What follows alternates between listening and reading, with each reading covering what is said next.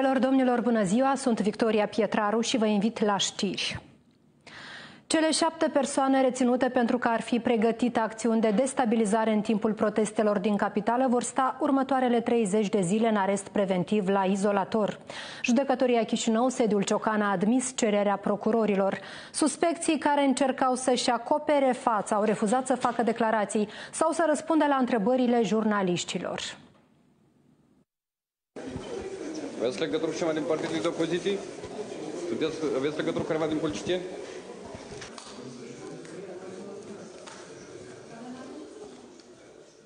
Amintim că duminică șeful Inspectoratului General de Poliție, Viorel Cernăuțeanu, a declarat că serviciile speciale din Rusia ar fi pus la cale destabilizări în Republica Moldova prin manifestațiile din Chișinău.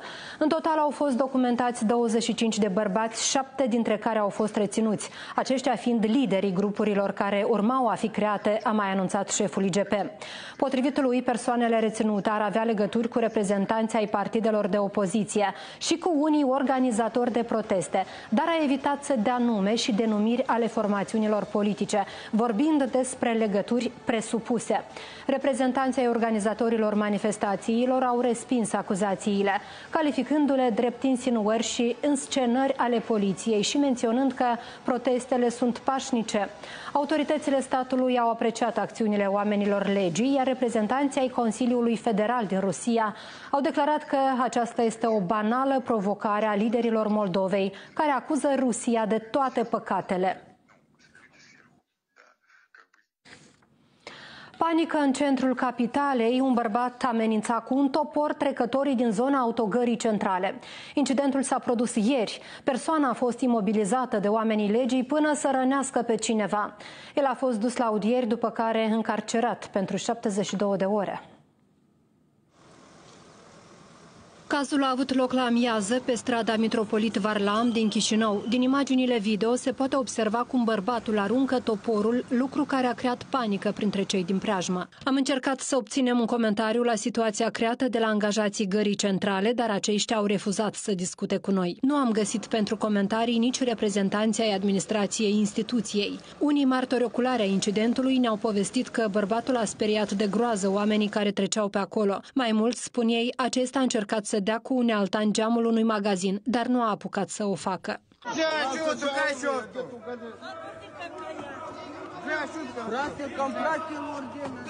Он искал, смотрел на кого-то, но не хотел кого-то ударить. Uh, El căuta pe cineva, dar nu vroia neapărat să lovească pe cineva anume. Când au venit polițiștii, a vrut să lovească în ei cu toporul, dar nu a făcut acest lucru. După asta a vrut să lovească în geamul magazinului de telefonie, dar iarăși nu a lovit. A intrat în coace și poliția l-a prins. Avea un topor mic, de casă, îl ținea așa, nu vorbea nimic, mai mult striga. Он больше как-то кричал, он не говорил. Speriați oamenii au sunat la poliție, echipajul venit acolo a imobilizat individul și l-a dus la audieri. 31 a 3 2023, piața centrală, Chișinău, turbul. Informația a fost înregistrată ieri, 13 martie, în jurul orei 14 și 45 de minute, precum că la gara centrală Chișinău un bărbat manifestă comportament violent și îi ține un topor. La fața locului a intervenit imediat grupa operativă care a imobilizat tânărul și l-au condus la inspectorat. Acesta are vârsta de 22 de ani și a fost reținut pentru 72 de ori. Potrivit ofițerului de presă din cadrul Direcției de Poliție a municipiului Chișinău, Chișinău, deocamdată nu se cunoaște din ce cauză bărbatul a manifestat un asemenea comportament și nici dacă a mai avut antecedente similare. În urma incidentului, nicio persoană nu a avut de suferit, iar pe acest caz a fost inițiată o anchetă penală pentru huliganism.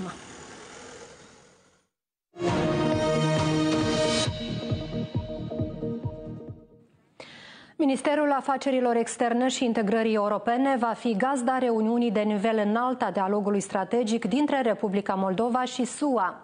La evenimentul care va avea loc mâine vor participa vicepremierul Nicu Popescu, fostul ambasador al SUA în Moldova, Derek Hogan, care acum ocupă funcția de asistent adjunct principal al secretarului de stat al SUA, dar și mai mulți reprezentanți ai Guvernului Statelor Unite. Potrivit unui comunicat emis de ambasada SUA în Moldova, reuniunea reprezintă o oportunitate pentru Statele Unite și Republica Moldova de a intensifica cooperarea pe teme cheie. Comisia de la Veneția a vizat proiectele de lege privind extinderea competențelor Serviciului de Securitate și Informații al Republicii Moldova. Experții Comisiei consideră că serviciilor speciale le sunt oferite competențe prea largi, iar directorul SIS ar putea obține o putere nelimitată pentru a invada viața privată, întrucât proiectele de lege propuse permit filajul și perchezițiile fără un mandat judecătoresc, ci doar în baza unei dispoziții a directorului SIS. Autoritățile moldovenești au promis că vor ține cont de poziția Comisiei de la Veneția, menționând că opinia acestei structuri europene este de natură consultativă.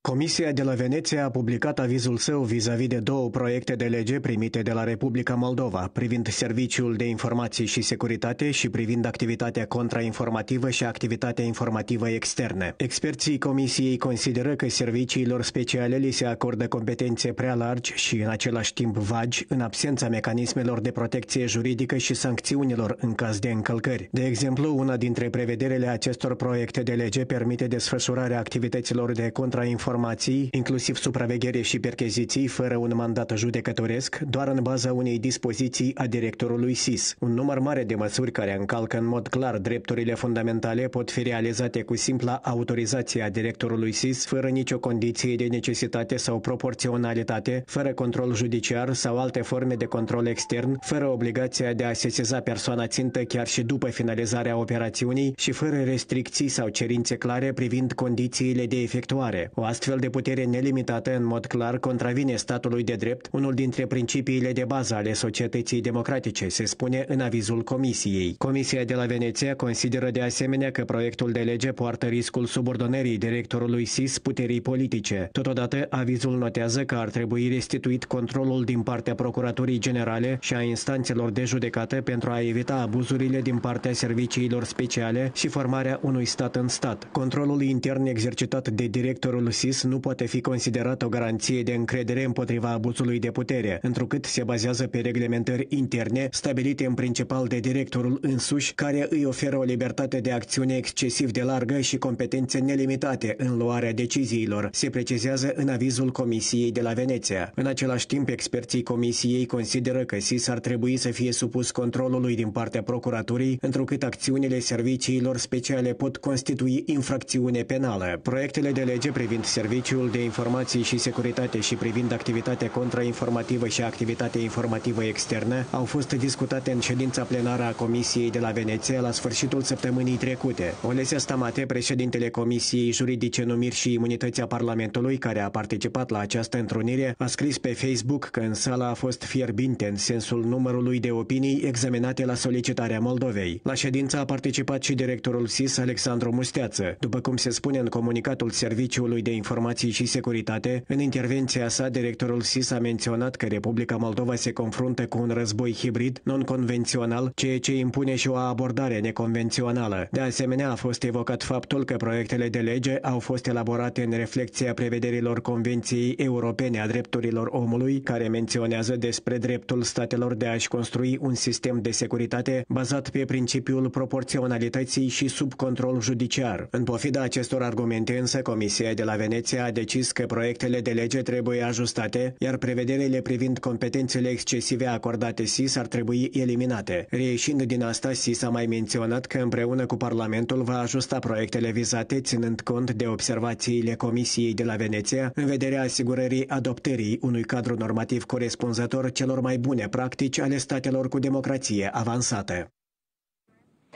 Șapte persoane și-au anunțat intenția de a participa la alegerile pentru funcția de bașcan al Găgăuziei.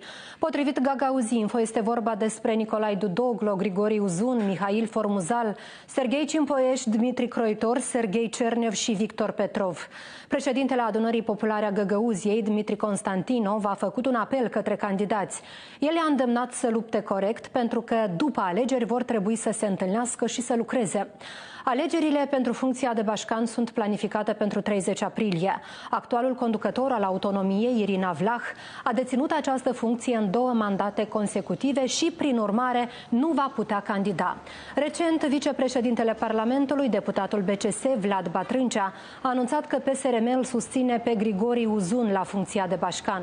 Colegul său, Vasile Bolea, consideră însă că decizia PSRM este incorrectă. Acesta a declarat pentru Newsmaker că a acceptat să fie șef de campanie pentru un alt candidat, actualul deputat al adunării populare, Victor Petrov.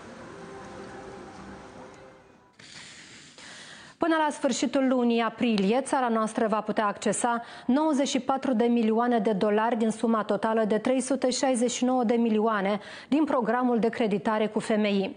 Anunțul a fost făcut astăzi de premierul Dorin Recean și șeful misiunii FMI în Republica Moldova, Ruben Antoian, în urma celei de-a treia misiuni de evaluare a FMI desfășurată în Republica Moldova în perioada 1-14 martie.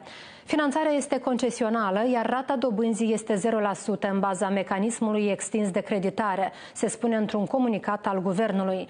Tot acolo se menționează însă că acordarea banilor în baza mecanismului de finanțare extinsă prevede o rată anuală a dobânzii egală cu cea pentru drepturile speciale de tragere. În cadrul unui briefing de presă comun, premierul a declarat că autoritățile de la Chișinău și-au asumat să implementeze hotărât programul pe care l-au agreat cu FMI, în mod special în ceea ce ține de stabilitatea macroeconomică. În opinia sa, acest fapt va ajuta în primul rând la construirea unei economii reziliente. În această vizită curentă am uh, ajuns la un acord ca țara noastră să poată accesa cele 94 de milioane de dolari din cadrul programului uh, curent uh, cu Fondul Monetar Internațional. Uh, guvernul și toată echipa va trebui să mobilizeze resursele pe uh, intern, să eficientizăm uh, evident uh, cheltuielile, să avem o guvernare uh, disciplinată uh, și foarte important să avem o disciplină bugetară uh, foarte bună.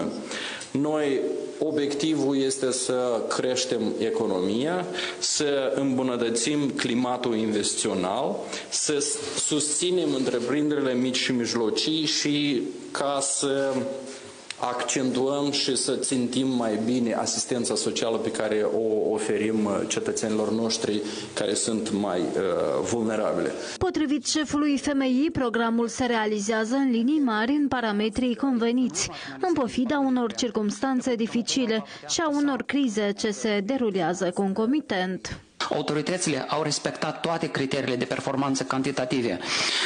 Deci reformele avansea, structurale avansează treptat, dar mai sunt necesare eforturi pentru a promova integritatea, capacitatea și independența celor mai importante instituții în domeniul prevenirii și combaterii corupției și pentru a consolida aplicarea cadrului legal anticorupție. Deci, nou guvern a reiterat angajamentul ferm de a implementa programul și a dat semnale clare că este hotărât să promoveze cu fermitate politici bugetare, fiscale, prudente, care să fortifice reziliența economiei. Dată fiind probabilitatea destul de mare a materializării unor riscuri, este în continuare extrem de important de promovat politici adecvate care să fie susținute de partenerii externi prin acordarea suportului bugetar.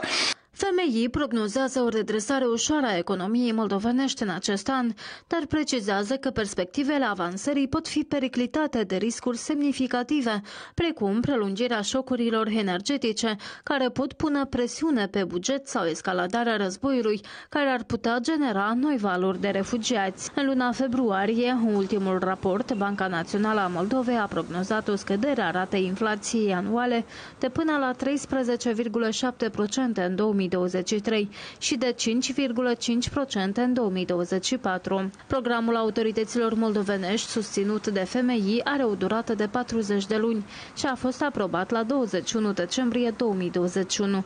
În luna mai 2022 a fost majorat volumul total de creditare la circa 826 de milioane de dolari SUA, din care 287,2 milioane de dolari au fost deja debursate. Finanțarea în baza mecanismului extins de creditare creditare prevede o rată anuală a dobânzii de 0%, o perioadă de grație de 5 ani și jumătate și un termen de rambursare de 10 ani.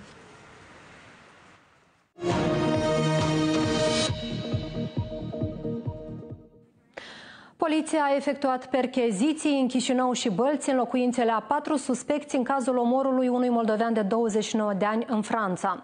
În dosarul, în cadrul verificărilor, oamenii legii au ridicat telefoane mobile, cartele telefonice, dispozitive de stocare a informației, ceasuri de lux și alte obiecte relevante urmăririi penale.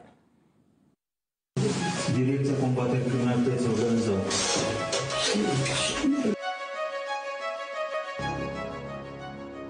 Polițiștii urmează să stabilească dacă mostrele de ADN preluate de la locul faptei din Franța le aparțin celor patru bănuiți. Potrivit autorităților franceze, cazul a avut loc în septembrie 2021, iar autoritățile de la Chișinău afirmă că victima făcea parte din organizația criminală Chitaeț și a fost omorâtă pentru că ar fi refuzat să compenseze bunurile confiscate.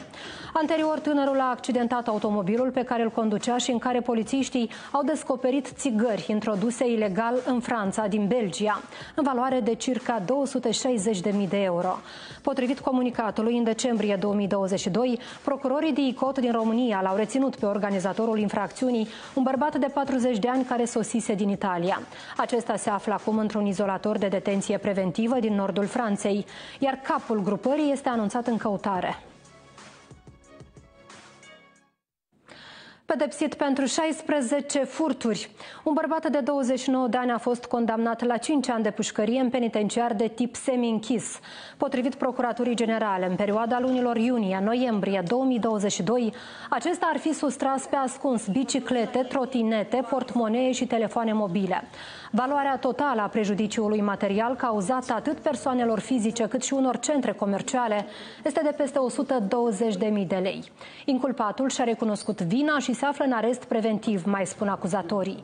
Sentința nu este definitivă și poate fi contestată. Cod galben de vânt în toată țara. În acest context, pompierii atenționează repetat oamenii să nu aprindă vegetația uscată, gunoiul menajer și stufărișul. Serviciul hidrometeorologic de stat avertizează că până la ora 20, pe arii extinse, se prevăd intensificări ale vântului sudic în rafale de până la 70 de km la oră. Inspectoratul General pentru Situații de Urgență spune că, în condiții de temperaturi ridicate, umiditate redusă și vânt, orice scânteie poate provoca incendii de proporții. Potrivit IGSU, săptămâna trecută, salvatorii au stins 217 incendii de vegetație. Focul a compromis 612 hectare de teren. Pompierii îndeamnă oamenii repetat la respectarea regulilor antiincendiare, iar în situații de risc să apeleze serviciul unic de urgență 112. Atât pentru această oră, doamnelor, domnilor, cu noi informații vă aștept la ora 18 și 45 de minute. Vă mulțumesc pentru atenție!